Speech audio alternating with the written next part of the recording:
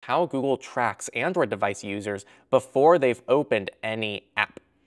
Really interesting stuff that really dives into you know, the kind of privacy you can expect on just a regular Android device. So this is from a professor at Trinity College Dublin. He's actually done a lot of other interesting stuff, Doug Leith. Um, I've covered some of his research in the past, and he found that Google tracks Android users even before they open their first app. And this is done through various mechanisms, and I'll touch on those in a second. The important thing about all of this is that there's really no way to leave any of these forms of tracking without, you know, a lot of workarounds and DIY stuff. So in terms of the tracking, the first thing is a DSID cookie which is what he says is almost certainly the primary method Google uses to link analytics and advertising events, such as ad clicks, to individual users. This cookie is pretty much almost like a super cookie in a way, and it exists on device. And then this is combined with a Google Android ID, which is a device identifier that cannot be removed once it's created.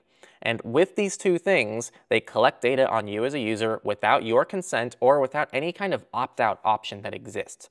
So the Google Android ID, to dive a little bit more into that, is linked to a Google account and created after the first connection made to the device by Google Play services. It continues to send data about the device back to Google even after the user logs out of their Google account, and the only way to remove it and its data is to factory reset the device, which if you're wondering, well, wouldn't I just get a new one? I believe the answer to that is yes. Obviously, the researcher says that this is by itself a privacy concern and has should have people worried at least. Um, and the second thing that he says is that there's uh, no way to opt out of this or having them run in the first place. So there really is such little oversight over all of this kind of stuff on a regular Google Android device. And we'll talk about some alternatives in a second. This is also really bad timing for Google because there was the recent controversy over the Android system safety core thing, which I believe we also covered on this podcast, which is a process that scans user, user images for explicit content without their consent. And users uh, express frustration over no transparency or ability to really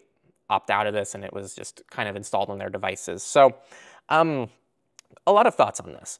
One, I have said it before and I'll say it again. Personally, I recommend what, if someone asks me what phone I should buy, the two things I typically say for most people is probably just an iPhone or a Google Pixel. Those tend to have the fewest amount of concerns when you start comparing them to their competition. The iPhone has the advantage of maybe having slightly better privacy and security on its face than the Google device, but the Google device will allow those users potentially to do more and have access to more third-party tools that don't exist on the iOS side of things. But it really depends on the user, and I think that you're kind of just splitting hairs. Those are kind of the two recommendations.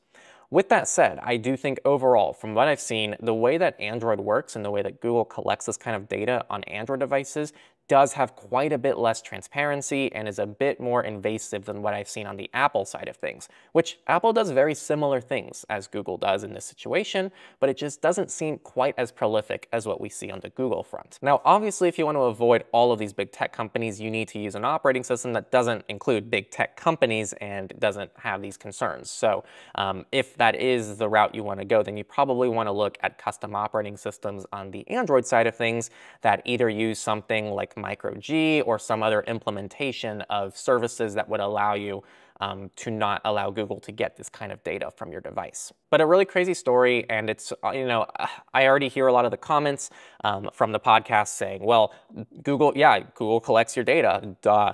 And it's like, yeah, we understand that, but knowing a little bit better how they do it is really important for mitigations, understanding what can't be mitigated, and also sharing with people exactly how it works. One thing is to sound like the crazy guy across the street pointing, you know, at the sky and going, guys, the sky is green, you know? The other, another one is actually like proving that the sky is green. Now, kind of a bad analogy because this is the perspective of people thinking there's nothing wrong and that we're crazy for thinking that there's lots of privacy issues in the world.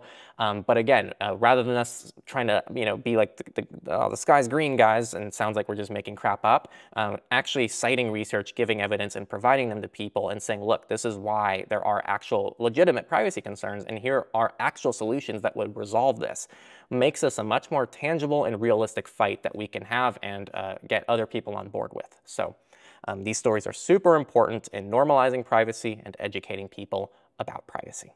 You just watched a clip from our main podcast, Surveillance Report, where we talk about privacy and security news every single week to keep you all updated on the newest threats and how to prevent them from happening to you.